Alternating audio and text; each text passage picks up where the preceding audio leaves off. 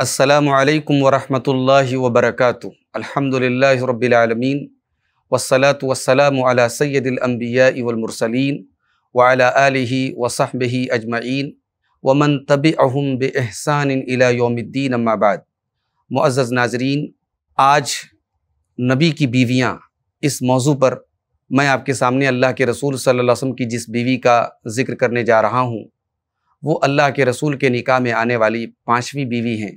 जिनका नाम है हज़रत ज़ैनब बिनत खुजैमा रदी अल्लाह तहा हज़रत ज़ैनब का ताल्लुक़ मक्का के एक बड़े ख़ानदान से था। आपकी सौतेली बहन, यानी माँ एक थी, बाप अलग थे, हज़रत मैमूना बिनत हारिस रज़ी अल्लाह तहा वो भी अल्लाह के रसूल के निकाह में आई। यानी ये दोनों बहनें आपस में सौतेली बहनें भी थीं और बाद में अल्लाह के रसूल सल्लल्लाहु अलैहि वसल्लम के निकाह में आने की वजह से आपस में सौतन भी बनी। हज़रत ज़ैनब बिनत खुजैमा का पहला निकाह हज़रत अबू उबैदा इब्नुल हारिस से हुआ था। ये गजब बद्र में शहीद हुए थे। गजब बद्र में जब जंग शुरू हुई तो उस ज़माने में जंग का एक दस्तूर था कि पहले इंडिविजुअल जंग होती थी, इनफरादी तौर पर जंग होती थी। तो मुशरकिन की तरफ़ से तीन लोग निकले, उतबा, शैबा और वलीद बिन उतबा। जब इधर से मुसलमानों की तरफ़ से तीन अंसारी साहब कराम निकले तो उन तीनों ने कहा कि ये हमारे जोड़ के नहीं हैं, ये हमारे मैचिंग के नहीं हैं। हमसे लड़ने के लिए हमारे ख़ानदान के लोगों को भेजो, मक्के के लोगों को भेजो और कुरैश के लोगों को भेजो। चुनानची अल्लाह के रसूल सल्लल्लाहु अलैहि वसल्लम ने तीन लोगों का नाम पुकारा। कुम या हमज़ा, कुम या अली और कुम या अबा उबैदा इबन हारिस आपने कहा कि अय अली, तुम उठो अय हमज़ा, तुम उठो और अय अबू उबैदा इबन हारिस तुम उठो। तो हज़रत अली रज़ी अल्लाह तु ने उतबा के ऊपर हमला किया हज़रत हमज़ा ने वलीद बिन उतबा के ऊपर हमला किया और हज़रत अबू उबैदा ने शैबा के ऊपर हमला किया। हज़रत हमज़ा ने अपने मुखालिफ को मार गिराया, हज़रत अली ने अपने मुखालिफ को मार गिराया। हज़रत अबू उबैदा ने शैबा के ऊपर जब हमला किया तो उसने इनके ऊपर भी हमला किया। दोनों ने एक दूसरे के ऊपर हमला किया और हज़रत अबू उबैदा के पैर पर उसने हमला किया, उनका पैर कट गया। उसी हालत में उनको ज़ख्मी मैदान जंग से बाहर ले जाया गया, लेकिन फिर उसी ज़ख्म से वो इतने निढाल हो गए कि उनका आखिरी वक्त आ गया।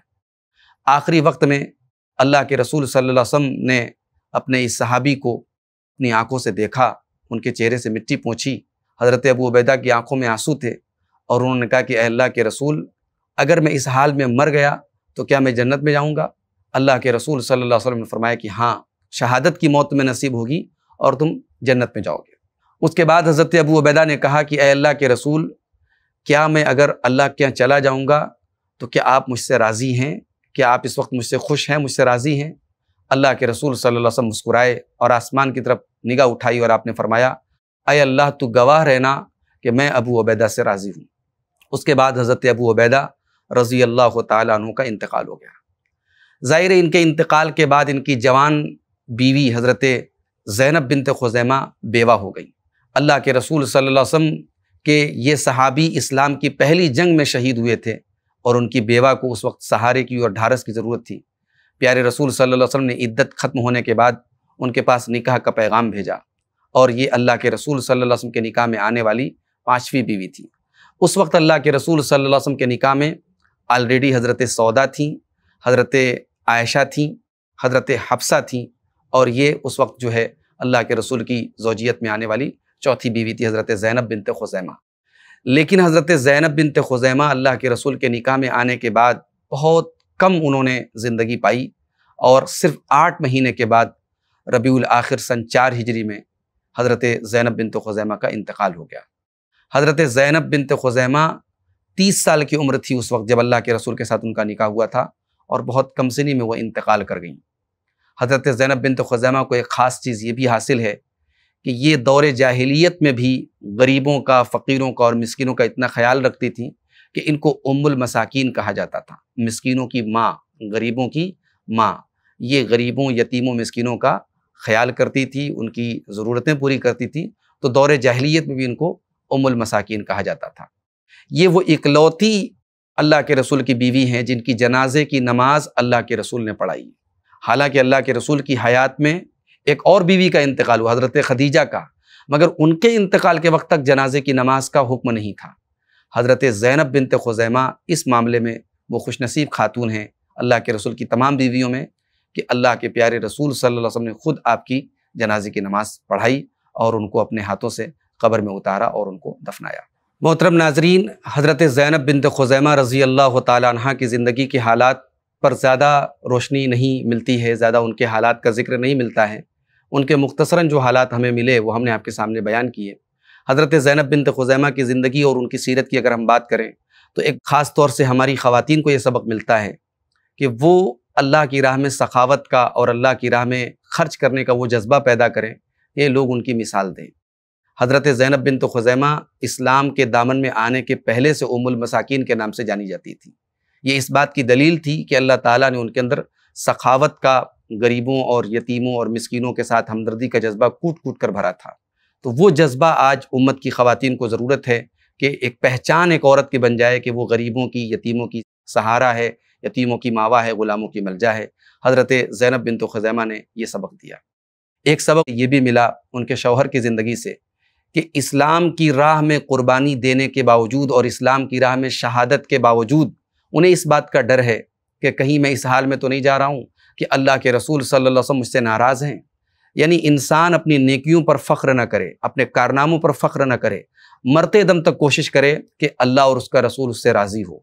बसा अवकात ऐसा होता है कि हम कोई नेकी करते हैं, हमारी समझ के हिसाब से, हमारी सोच के हिसाब से हम बहुत बड़ी नेकी करते हैं, मगर हमारी नेकी में कोई ऐसी चीज़ छिपी होती है, कोई ऐसी कमी होती है जिसकी वजह से वो नेकी अल्लाह की बारगाह में कबूल नहीं होती है। तो हर नेकी करने वाले को इस बात की फ़िक्र करनी चाहिए कि हमारी नेकी अल्लाह की बारगाह में कबूल हो रही है या नहीं हो रही है। हज़रत ज़ैनब बिन खुजैमा के बाद प्यारे रसूल सल्लल्लाहु अलैहि वसल्लम के निकाह में जो अगली बीवी आपकी आई हैं, उनका नाम है हज़रत उम सलमा रज़ी अल्लाह तहा हज़रत उम सलमा का ताल्लुक़ कबील बनु मखजूम से था। ये क़ुरैश का बहुत मशहूर ख़ानदान था। ये वही ख़ानदान था जिस ख़ानदान से अबू जहल का ताल्लुक़ था। और ये वही ख़ानदान था जिस ख़ानदान के हज़रत खालिद बिन वलीद थे। जिस ख़ानदान के बड़े बड़े सहाबा थे। तो खालिद बिन वलीद रज़ी अल्लाह तु हज़रत उम सलमा रज़ी अल्लाह तहा के चचाजाद भाई थे। हज़रत उम सलमा के जो वालिद थे, जिनका असल नाम हुजैफ़ा था, लेकिन उनकी कुनीत अबू अमैया थी, वो ज़ादुर्राकिब के नाम से जाने जाते थे। ज़ादुर्राकिब का मतलब मुसाफिर का ज़ाद राह। यानी उनके साथ जो आदमी भी सफ़र पर निकलता था, उसको अपना तोशा और अपना सामान लेके जाने की, अपना खाना लेके जाने की ज़रूरत नहीं पड़ती थी। उसके रास्ते का सारा खाने पीने का इंतज़ाम हज़रत उम सलमा के जो वालिद थे, अबू उमैया, वो किया करते थे। तो एक सखी बाप की, एक बड़े बाप की बेटी थी। हज़रत उम सलमा का निकाह होता है हज़रत अबू सलमा रज़ी अल्लाह तु से। ये अबू सलमा कौन है? ये अल्लाह के रसूल सल्लल्लाहु अलैहि वसल्लम की फूफी हज़रत बर्रा बिनते अब्दुल मुत्तलिब के बेटे हैं। यानी अल्लाह के रसूल के फूफीजात भाई हैं हज़रत अबू सलमा। और ये बिल्कुल शुरुआत में इस्लाम लाने वालों में से हैं, असाबिकून में से हैं। अल्लाह के रसूल सल्लल्लाहु अलैहि वसल्लम अभी दार अरकम में नहीं गए थे। अभी आपने अपनी दावती कोशिशों का मरकज़ हज़रत अरकम के घर को नहीं बनाया था, उसके पहले जो चंद साहबा ईमान लाए थे, उसमें से हज़रत अबू सलमा रदी अल्लाह तहों भी शामिल थे। और हिजरत जब की गई हबशा की तरफ़ तो हबशा की दोनों हिजरतों में ये जोड़ा भी शामिल था। हज़रत उम सलमा और उनके शोहर अबू सलमा, ये दोनों जोड़ा हबशा की दोनों हिजरतों में शामिल था। और हज़रत उम सलमा के जो बेटे थे सलमा, उनकी विलादत वहीं हबशा में हुई। बाद में उनके और भी बच्चे पैदा हुए, वो सब मक्का में पैदा हुए और उनके तमाम बच्चे जो हैं, वो सब के सब सहाबी हुए और इस्लाम के खिदमतगार हुए। मोहतरम नाजरीन, हज़रत उम सलमा और उनके शौहर अबू सलमा के बीच में बड़ी गहरी मोहब्बत थी। दोनों मियाँ बीवी एक दूसरे से बहुत प्यार करते थे। और इस्लाम भी दोनों ने साथ में कबूल किया था और दोनों साथ में इस्लाम की खिदमत करते थे। एक दिन हज़रत उम सलमा रज़ी अल्लाह तहा ने अपने शौहर अबू सलमा से कहा कि मैंने सुना है कि अगर किसी का शौहर इंतकाल कर जाए और बीवी उसके बाद कोई दूसरी शादी न करे और दोनों मियाँ बीवी जन्नती हों तो अल्लाह ताला उनको जन्नत में भी मियाँ बीवी बना के रखता है। तो आइए मैं आपसे ये अहद करती हूँ कि मैं आपके मरने के बाद किसी से शादी नहीं करूँगी ताकि हम जन्नत में भी मियाँ बीवी बन करके रहें। तबक़ात इबन साद की रिवायत है। हज़रत अबू सलमा रज़ी अल्लाह तहों ने कहा कि नहीं, मैं तो ये चाहता हूँ कि मैं अगर इंतकाल कर जाऊँ तो तुम मेरे बाद निकाह करो। मैं कतान ये नहीं चाहूँगा कि तुम मेरे बाद निकाह ना करो। और मैं अल्लाह से दुआ करता हूँ कि अल्लाह, तू उम सलमा को मेरे बाद ऐसा शौहर दे, ला युहजिनहा वला युजीहा। जो उसका इतना ख्याल रखे कि उसे कभी कोई गम न दे, उसे कभी कोई तकलीफ़ न दे। उम सलमा रज़ी अल्लाह तह कहती हैं कि जब मेरे शौहर का इंतकाल हुआ हज़रत अबू सलमा का तो मेरे दिल में ये ख्याल पैदा हुआ कि भला कौन है जो अबू सलमा से बेहतर मुझे मिलेगा? अबू सलमा से बेहतर शौहर उनसे ज़्यादा प्यार करने वाला और ख्याल करने वाला कहाँ से मुझे शौहर मिलेगा? लेकिन जब प्यारे रसूल सल्लल्लाहु अलैहि वसल्लम के निकाह में मैं आई, तब मुझे एहसास हुआ कि वाकई में हज़रत अबू सलमा की दुआ कबूल हुई और मुझे उनसे बेहतर शौहर मिला। इसी तरीके से सही मुस्लिम की किताबुल जनाइस की रवायत है। हज़रत उम सलमा कहती हैं कि मैंने अल्लाह के प्यारे रसूल सल्लल्लाहु अलैहि वसल्लम को ये फरमाते हुए सुना है कि जब किसी मुसलमान के ऊपर कोई मुसीबत आए और वो ये दुआ पढ़े, इन्ना लिल्लाहि व इन्ना इलैहि राजिऊन, अल्लाहुम्मा जुरनी फ़ी मुसीबती व अखलिफली खैरम बेशक हम अल्लाह के लिए हैं और अल्लाह ही की तरफ़ लौट करके जाने वाले हैं। अय अल्लाह तो मेरी मुसीबत में मुझको बेहतरीन अज्र अता फरमा और इस मुसीबत का बेहतर बदल मुझको अता फरमा। अल्लाह के रसूल सल्लल्लाहु अलैहि वसल्लम फरमाते हैं कि अगर कोई मुसीबत में ये दुआ पढ़ ले तो अल्लाह तबारक व ताली उस मुसीबत का बेहतरीन बदल उसको अता फरमाता है। हज़रत उम सलमा कहती हैं कि जब मेरे शौहर अबू सलमा का इंतकाल हुआ तो मैंने ये दुआ पढ़ी। हालाँकि मेरे दिल में ये ख्याल पैदा हुआ कि मैं दुआ तो पढ़ रही हूँ, मैं अल्लाह से मांग तो रही हूँ कि इस मुसीबत का मुझे बेहतर बदल दे, इसका बेहतरीन अल्टरनेट मुझे दे। मगर मैं सोच रही थी कि अबू सलमा से बेहतर मुझे कौन शौहर मिल सकता है? लेकिन जब अल्लाह के रसूल सल्लल्लाहु अलैहि वसल्लम के निकाह का पैगाम आया, तब मुझे ये एहसास हुआ। और पहले मैंने इस रिश्ते को कबूल नहीं किया। मैंने अल्लाह के रसूल का जब रिश्ता आया, मेरे पास हज़रत हातिब बिन अबी बलता ये निकाह का पैगाम लेकर के आए तो मैंने दो शर्तें रखी थी। पहली शर्त ये रखी थी कि अय अल्लाह के रसूल, मैं बहुत गैरत वाली औरत हूँ, आपकी और बीवियाँ हैं, मैं एक सौतन की हैसियत से शायद और बीवियों को बर्दाश्त न कर पाऊँ, मैं बहुत ज़्यादा गैरत वाली हूँ। और दूसरा मसला ये है कि मेरे साथ मेरा बेटा भी है। अल्लाह के रसूल सल्लल्लाहु अलैहि वसल्लम फरमाया कि जहाँ तक तुम्हारे बेटे की बात है, और बाद रवायात में बेटी का ज़िक्र है, कि जहाँ तक तुम्हारी बेटी की बात है, उसके लिए मैं काफ़ी हूँ। उसकी कफालत के लिए, उसकी परवरिश के लिए मैं काफ़ी हूँ। और जहाँ तक गैरत की बात है तो मैं अल्लाह ताला से दुआ करूँगा, अल्लाह ताला तुम्हारी गैरत को दूर कर दे। जब प्यारे रसूल सल्लल्लाहु अलैहि वसल्लम ने इन दोनों बातों का हल जब बयान कर दिया, तब हज़रत उम सलमा रदी अल्लाह तहा अल्लाह के रसूल के निकाह में आई। मुआज़ नाजरीन, हज़रत उम सलमा रज़ी अल्लाह तहा की हिजरत का वाक़ भी बड़ा दर्दनाक और बड़ा इबरतनाक है। इनके शौहर अबू सलमा जब हिजरत के सफ़र पर मदीना जाने लगे तो अपने बच्चे और अपनी बीवी को भी लेकर के जाने लगे। लेकिन आन मौके पर जब वो रवाना होने लगे तो हज़रत उम सलमा के घर वाले आए और उन्होंने कहा कि तुम्हें जहाँ जाना है जाओ, लेकिन हमारी बेटी को तुम नहीं लेके जा सकते।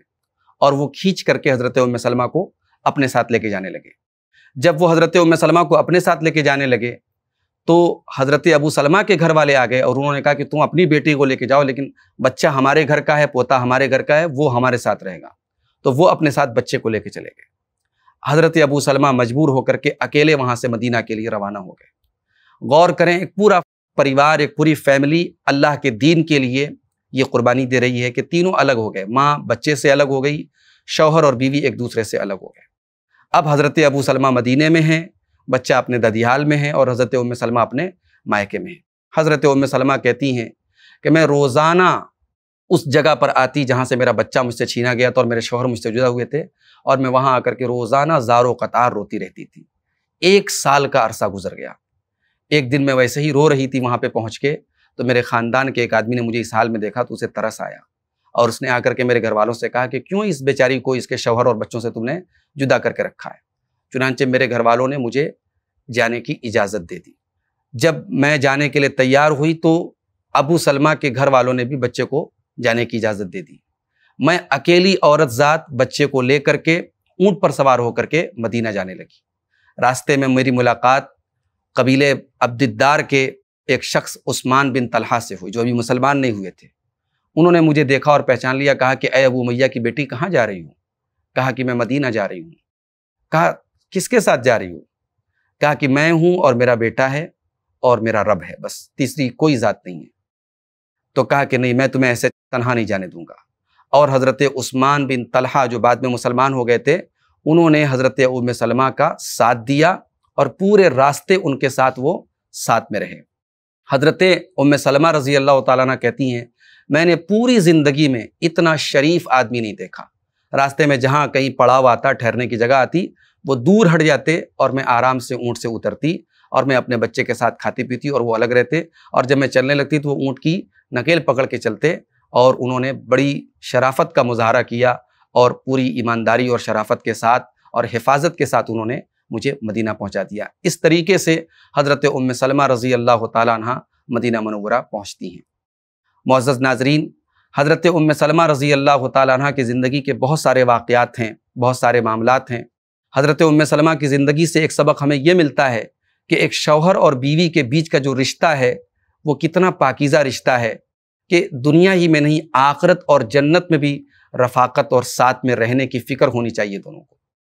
और एक सबक ये भी मिला हज़रत उम सलमा की ज़िंदगी से कि अगर हम किसी मुसीबत पर हम सही मानों में, सच्चे दिल से अगर दुआ करें कि अल्लाह ताला उस मुसीबत का हमें बेहतर बदल दे तो अल्लाह ताला कहीं ना कहीं से उसका बेहतर बदल हमें अता फरमाता है। हज़रत उम सलमा खुद कहती हैं कि मुझे उम्मीद नहीं थी कि मेरे शौहर से बेहतर मुझे शौहर मिल सकता है, लेकिन अल्लाह तबारक व ताली ने मुझे उनसे बेहतर शौहर, यानी दुनिया के सबसे बेहतरीन शौहर की शक्ल में, अल्लाह के प्यारे रसूल सल्लल्लाहु अलैहि वसल्लम की शक्ल में मुझे शौहर अता फरमाया।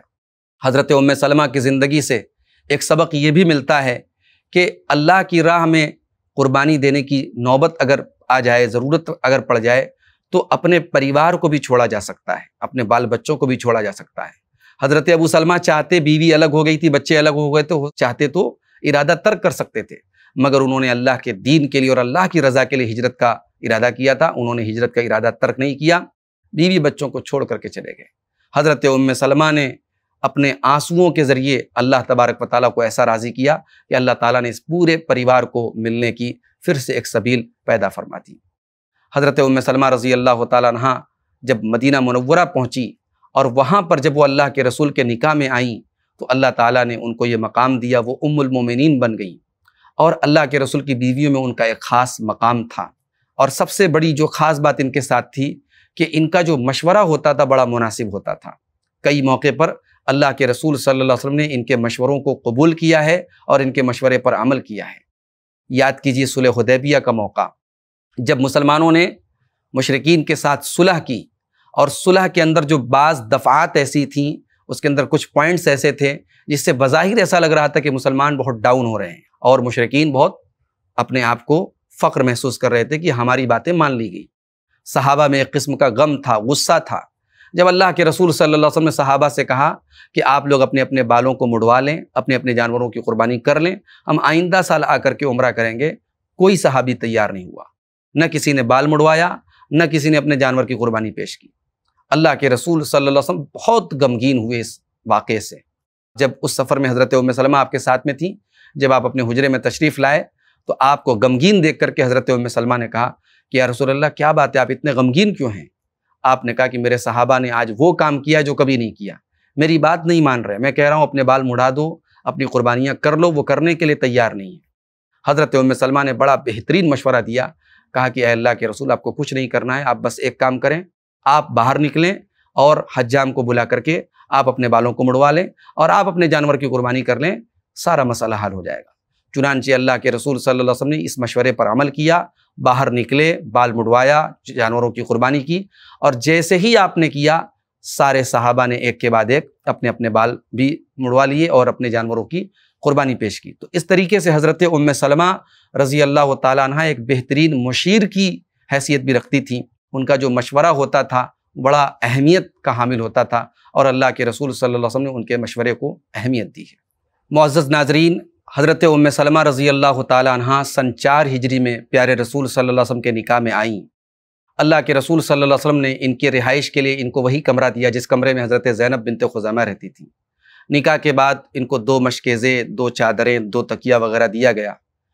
इनका हुजरा कैसा था? जैसा तमाम अल्लाह के रसूल की बीवियों का हुजरा था। कच्ची मिट्टी की दीवारें थी, खजूर की शाखों की छत थी और छत की हाइट इतनी थी, हज़रत सईद इबन मसईब कहते हैं कि हम हाथ लगाते थे तो हाथ से हम टच कर सकते थे अल्लाह के रसूल के हुजरों की छतों को।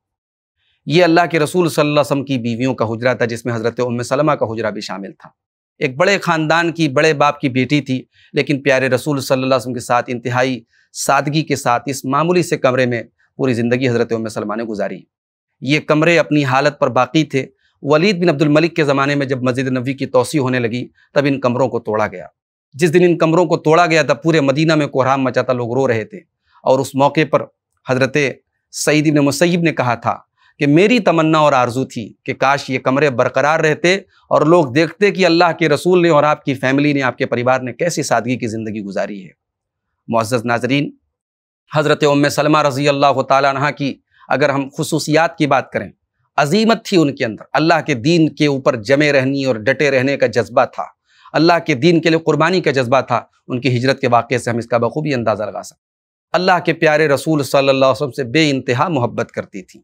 अल्लाह के रसूल जब मरजुल मौत में मुबतला हुए, अपनी वफ़ात के पहले जिस बीमारी में आप मुबतला हुए, उस बीमारी में आप अक्सर आपने अयाम हज़रत आयशा के घर में गुजारे तो दूसरी बीवियाँ आपसे मिलने के लिए, आपको देखने के लिए आती थी। एक मरतबा हज़रत उम सलमा आई, अल्लाह के रसूल को तकलीफ़ में देख करके चीखने लगी। उनकी आवाज़ बुलंद हो गई, उनके ज़ुबान से चीख निकल गई। अल्लाह के रसूल से इतनी मोहब्बत करती थी कि आपके चंद बालों को उन्होंने बहुत संभाल के चांदी की एक डिब्बी में रखा था। और मदीना में जब कोई बीमार होता था, नज़र वगैरह लगती थी तो लोग इनके पास पानी भेजते थे और उस पानी में घोल देती थी वो बाल। तो लोग बतौर शफा, बतौर तबरुक चूँकि अल्लाह के रसूल सल्लल्लाहु अलैहि वसल्लम के बदन से और आपके जिस्म के अज़ा से तबरुक हासिल करना जायज़ है तो लोग उस पानी के ज़रिए अपने बीमारी में अल्लाह ताला से शिफा की उम्मीद रखते थे। हज़रत उम सलमा रज़ी अल्लाह तहा अपने बाप की तरह सखावत और फयाजी में भी बहुत आगे थी। हज़रत उमर फ़ारूक के दौर में सालाना बारह हज़ार दिरहम दीगर अजवाज की तरह इनको भी वजीफ़ा मिलता था और वो सारा वजीफ़ा हज़रत उम सलमा रज़ी अल्लाह ताला अल्लाह की राह में खर्च कर देती थी। हज़रत उम सलमा रज़ी अल्लाह ताला अपनी एसाबत राय, अपनी मज़बूत राय और सही राय के लिए भी जानी जाती थी। सोलह हदैबिया के मौके पर उनकी राय बिल्कुल सही साबित हुई। सन इकसठ हिजरी में हज़रत उम सलमा रज़ी अल्लाह तह का इंतकाल होता है और आपकी जनाजे की नमाज़ हज़रत अबू हुररा रज़ी अल्लाह तहों पढ़ाते हैं। मुआज़ नाजरीन, अगर हम हज़रत उम सलमा की ज़िंदगी से जो दुरूस और इसबाक और नसीहतें मिलती हैं, अगर हम उनकी बात करें तो एक बहुत बड़ा सबक हज़रत उम सलमा की ज़िंदगी से हमें यह मिलता है कि हमें हमेशा अल्लाह ताला से खैर की उम्मीद रखनी चाहिए। मुसीबतों में, परेशानियों में कभी मायूस नहीं होना चाहिए। हज़रत उम सलमा के लिए वो ज़िंदगी का बड़ा कठिन दिन था, जिस दिन उन्होंने अपने शौहर अबू सलमा को खोया था।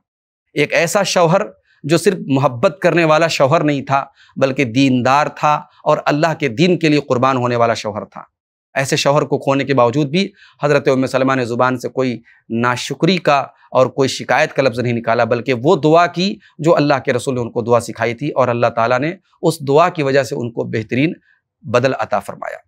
हज़रत उम सलमा रज़ी अल्लाह तहा की ज़िंदगी से एक सबक ये भी मिलता है कि हमें अपनी ज़िम्मेदारियों का पूरा एहसास होना चाहिए। रसूल अकरम के निकाह में आई, पहले ही दिन खाना बना करके अल्लाह के रसूल को खिलाया। जिम्मेदारियों का पूरा एहसास था। एक मौके पर हज़रत उमर फारूक ने इनसे कहा था, तुम लोग अल्लाह के रसूल को तकलीफ़ पहुंचाना बंद कर दो, वरना अल्लाह ताला तुम लोगों का बेहतर बदल अपने नबी को देगा। किसी मौके पर अल्लाह के रसूल अपनी बीवियों से नाराज़ थे तो हज़रत उमर ने नसीहत करते हुए हज़रत उम सलमा से कहा था तो हज़रत उम सलमा ने डांट दिया हज़रत उमर को। हज़रत उमर का अपना एक मकाम था, लोग उनसे डरते थे, मगर हज़रत उम सलमा ने हज़रत उमर को डांट दिया और कहा, क्या रसूल हमें समझाने के लिए काफ़ी नहीं, तुम हमें समझाने आए हो? तो जिम्मेदारियों का एक एहसास था और जहाँ अपनी बात रखने का, अपना पछ रखने का, अपना मौक़ रखने का मौका आया, हज़रत उम सलमा पीछे नहीं रही। उनकी ज़िंदगी से हमें और आपको एक सबक ये भी मिलता है कि अगर अल्लाह के दीन के लिए बच्चों को कुर्बान करना पड़ जाए, शौहर से दूरी के हालात पैदा हो जाएँ, एक मुसलमान औरत अपने दीन को सबसे मुकदम रखे।